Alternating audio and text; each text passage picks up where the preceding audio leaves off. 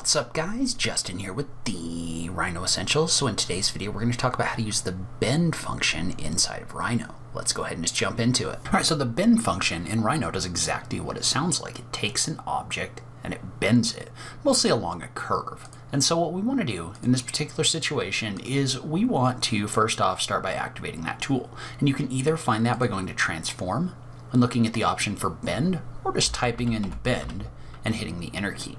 So if you type in bend and hit the enter key, what it's going to tell you to do first is to select the object that you want to bend. So in this case, for example, I'm going to select this rectangle. And then once I'm done, I can hit the enter key. Notice how you can select multiple objects, which we'll talk, we'll talk about a little bit later. But um, what it's going to ask you to do at that point is it's going to ask you to pick a point to start the bend from. So in this case, for example, I'm going to select the, the midpoint of this rectangle right here. Then it's going to ask me for the end of the spine. So that's basically going to the going to be the point at which the bending stops. So in this case, I want to bend the whole thing, so I'm going to click right here. Well, then it's going to ask me for the point that I want to bend through, right? So I'm going to take this object, I'm going to move my mouse, and then if I was to click, it would bend this object along that curve. Now notice how there are some different options in here, which we can take a look at in a second. But if I was to click, notice how it does come through here and bend this object along the curve. Now let's say that we were to take this rectangle right here. I'm gonna go ahead and create a copy of this because we might want another one in a minute. But let's say that I was to bend this object, but this time I was only to select the central point rather than the end point as the end of my spine. Whoops. So notice how when I do that, this is only going to bend this object along the middle here. And then notice how on the other end, right there, so um, on the longer end, it's not bending beyond that point. So this curve stays kind of like straight after that point. You can see how this bends right here, and then it keeps this straight. So you can get different kinds of bends by selecting those different options in here, so you don't have to bend the full object um, when you're bending things. And so now, let's say that we were to bend this object right here. We'll go ahead and do the same thing. So I'm going to set my midpoint. We'll set the end here. But notice how now there are options in here for different things that you can do.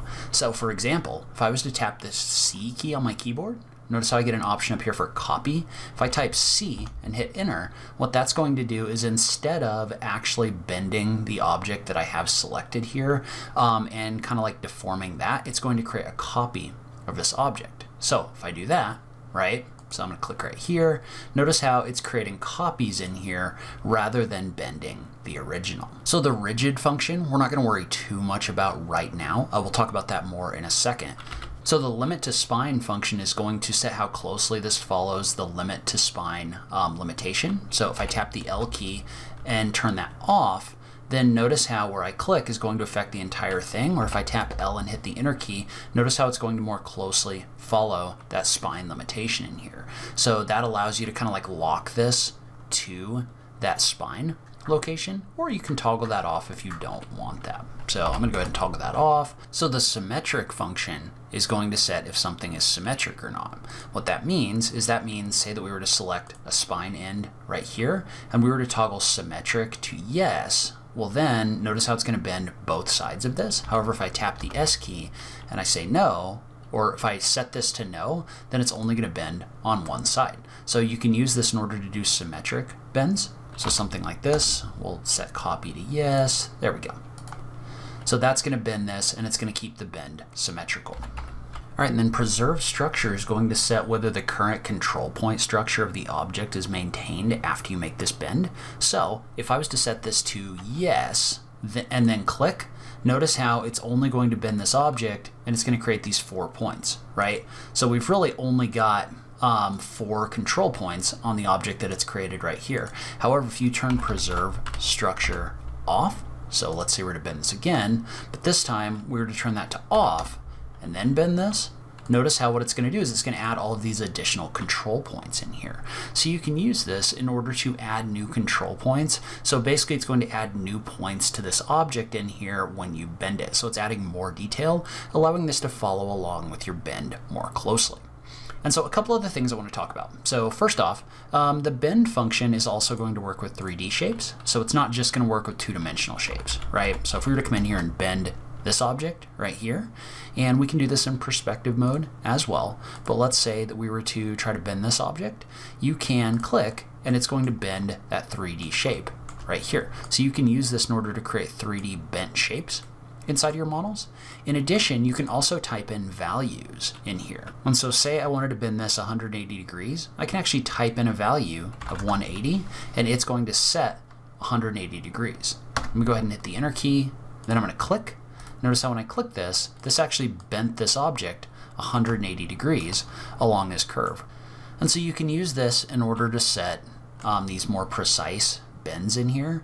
Another thing you can do is you can also select multiple objects, right? So right now I've got an array of cubes that I've created. Notice how each one of these is or has been created as a separate object. I'm gonna go ahead and duplicate these real quick. So we'll create a copy up here. But notice how if I select this series of objects in here, like this, so I'm just gonna do a shift click, I'm gonna type bend, but I can use this in order to bend this group of objects as well. So notice how even though this is multiple objects that's in here, I can use this in order to create a bend of them, and they're going to follow along with this. So you can use this to bend multiple objects, either like this, which is interesting um, for sure. So if I type in 180 degrees, hit enter, notice how I can create a bent version of all of these objects that are in here. So that's definitely something that you can do. But then you can also use it to place objects along a curve. So let's say, for example, that we wanted to take these objects and array them along a curve like this. Well, what we could do is we could type in bend. We're to select our objects and hit the enter key. And then I'm going to click and click again. And so one thing that we want to make sure that we do is we set rigid to yes because we don't want this. Notice how right now these boxes, for example, are getting deformed. Well, if we were to type in an R and hit the enter key, notice how it'll take those objects and it'll bend them along the curve, but it'll keep the, um, the actual shape of the objects rigid, meaning they're not actually losing anything having to do with their internal makeup, but um, you're still able to kind of bend them along a curve like this. And then if I was to type in like a value of 90 or something like that and then click, notice how I can use this in order to place objects along a curve inside a rhino um, without actually deforming them, which has a lot of interesting uh, implications as well, which we can talk about in a future video. All right, so leave a comment below. Let me know if you have any questions about the bend tool in Rhino. I just love having that conversation with you guys. As always, thank you so much for taking the time to watch this, and I will catch you in the next video. Thanks, guys.